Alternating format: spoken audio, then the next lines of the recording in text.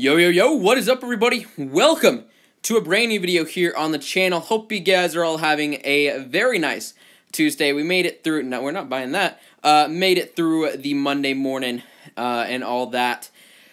And yeah, so let's go ahead and talk about Narlyth and versus Gig.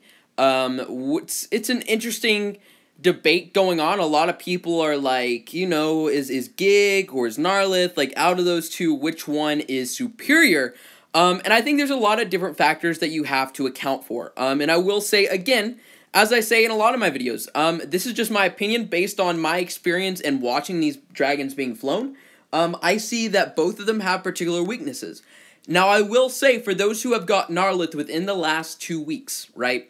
With the introduction of dungeons, all right, there has been a really, really critical glitch or bug where towers start super shotting before you actually turn. So if there's a storm tower, if there is an earth flak, you're basically screwed over if you use Narlyth because those shields are up before Narlyth can even get his shot off for most people. Now there's ways to combat that like shooting it super duper early, but even then sometimes you can't even do it fast enough depending on the placement of the earth and storm tower. So that really basically screwed over Narlyth completely. Um, now, I'm not an amazing flyer with him. Okay, I don't know what in the world's going on in that Gota. And, uh, okay, all right. You know what? We're gonna, you know, you know, there's dragon orgies, I guess. Okay. Um, you know, I, even I, like, and I'm not saying I'm a great flyer or anything, but, you know, I'm able to take on some decent bases. But even recently, man, it's been really difficult to use Narlyth. So it's not really a fair representation of his abilities, I'm really hoping PG fixes that ASAP because that's critical in Atlas. Um, but anyways, so let's just let's just say um, I'll just start with this: is that you know again this is my opinions based on what I've seen, um, and I think Narlyth has more potential in the long run, like a one-shot Death Gaze spell, right, and a way to cloak, kind of back to back is pretty significant. And I think he's going to be usable for a little bit longer than Gig. So if you're at end tiers, you know, Narlyth may actually be viable even when 95s come out. Maybe not a solo dragon, but maybe a cleanup. You know, uh, I, I don't think Marlis, the uh, the new dragon that has like uh, sand and everything, is actually going to be viable. But, you know, maybe there's a combination between Marlis and uh, Narlyth that may be really good or something. I don't know. Um, but I think Narlyth has more potential as far as usability and viability for upcoming tower levels. But I will say Narlyth is a little bit more tricky. And if you're not a very good hunter flyer and you're not able to fly dragons very well, um, or maybe you're just not like a top tier hunter flyer, or maybe you don't like flying hunters, um, I, I don't think Narlyth is the dragon for you, to be quite honest.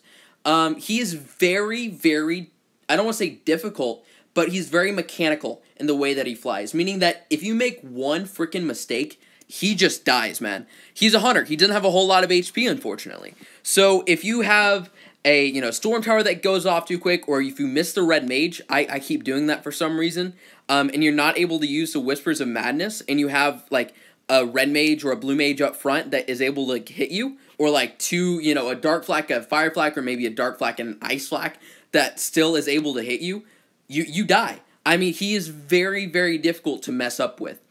Gig on the other hand, like most warriors is not, you know, is not as easy to kill. He he's a tank, really he is. Um, especially with this spell right here that debuffs nearby towers. Uh, they deal reduced damage, meaning that he survives for a long freaking time, as well as he has his elemental resist. So, it actually makes it to where he's able to survive. Now, the only issue arises is whenever he gets rage drained. Because if you can't use his evil eye, which massively increases breath damage and reduces incoming damage, um, he he doesn't he's unable to kill towers really, except for whenever he uses a cosmic gaze. So really, in my opinion, he starts struggling a lot whenever you reach like a middle island like mine, where you have some high high uh, damage dealing towers in the back. Like for example, my my lightning towers are fairly strong. Like that honestly kills more dragons than these towers do. Like in all honesty. Um, though these towers kill plenty, but this one in particular is fairly significant uh, because they just deal so much damage at higher levels because they grow exponentially. Um, so, yeah, I mean, in my opinion, I think for most players, Gig may actually be the better option. Um, you know, I generally tend to say hunters, but with whenever you have a hunter like this where it's very tricky to fly, um, you know, if you are a really good hunter flyer, I will say, in my opinion, again, I think Narlyth is better. I think he has more potential and can do better against defended bases and wars and stuff like that, assuming you have good gear. But if you know you're not among the top flyers, or um, maybe you don't enjoy flying hunters, then Gig is going to be the better option. If you're a lower level, I know Gig will be viable. Um, as you start going up in levels, you tend to see bases with really good defense gear um, and better built, and that's when warriors start to struggle a little bit. Um, I have seen a Gig get through my base, defended with me, like me defending hard. So I, I know both of them can take out, you know, max gear. I'm about to have my second mythic, well, my first mythic set maxed out, and I'm excited for that. And that will actually take the place of my legend or my mythic or my elite. Can I talk properly? My elite set. So I've I've had win for the longest freaking time, but I actually get to change it out for uh for fire. So I'm looking I'm looking forward to that. Should be buffing up my defense a little bit here soon. Um, but yeah, so, anyways, that is my opinion. Take it for what it's worth. If you have any other questions, PM me in game. My in game name is Odin. Um, and I will try to do my best to answer as many of them as I can. I know I'm not always the best, but I try. Um, I, I, tend to get quite a few throughout the day, and sometimes I get I get busy with uh, leadership stuff and politics and uh, attacks on my on my castles. So um, yeah, if you if you want to message me in game, feel free to do so, and I will do my best to get to you. And hopefully, you guys enjoyed or found it useful. If you did, leave a like down below, comment, subscribe, do whatever you feel like is suitable. And I will see you fellows in the next video. Peace out, guys.